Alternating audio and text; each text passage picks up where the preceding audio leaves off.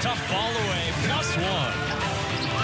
Nice find from Lewis. Back to the cutting Charles for two. Charles to beat the shot clock for three. Wow.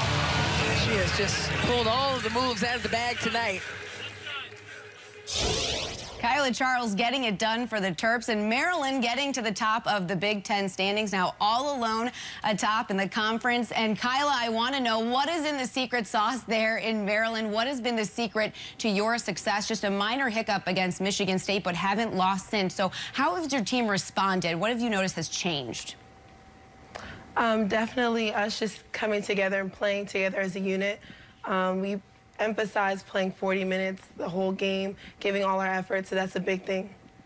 You've been putting in a lot of effort, a career high 32 points against Ohio State in that big win, another team leading 17 against Northwestern. So how have you noticed your game change in the absence of Watson, and how have you noticed yourself even becoming more of a leader? Um, most of this is coming from my teammates. They're always finding me, um, encouraging me to, you know, make good plays, be aggressive, and take the shots that I've been practicing um, over the summer break. Um, just this year, I've been expected to be more of a leader, so it's easy when my teammates are willing to listen and they're understanding. So this year, it's been a challenge, but I've been able to, you know, do good. And speaking of leadership, your team lost a couple of key senior leaders in Brionna Jones and Shatori Walker Kimbrough. So how have you noticed the dynamic of this team change? And even what do you think the identity is that's going to take you guys moving forward?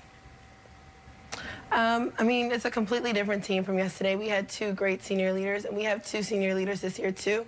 But we just came together. Um, we're no more of the underdog, but we just know that we put our head down and work, that we'll have a successful season. So we just got to play our best every game. You guys have been successful so far. Not many losses since joining the Big Ten Conference, just four. So mm -hmm. what motivation does it take to not get complacent and to stay disciplined and keep moving forward? And we, we just got to take it one game at a time. We know every team is going to come out and give their best when they play against us. I mean, we learned that with the Michigan State loss, that we can't take any day off. So we just know that coming into every game, we got to treat the opponent same and just play our game. Kaila, thank you so much and good luck moving forward. Thank you.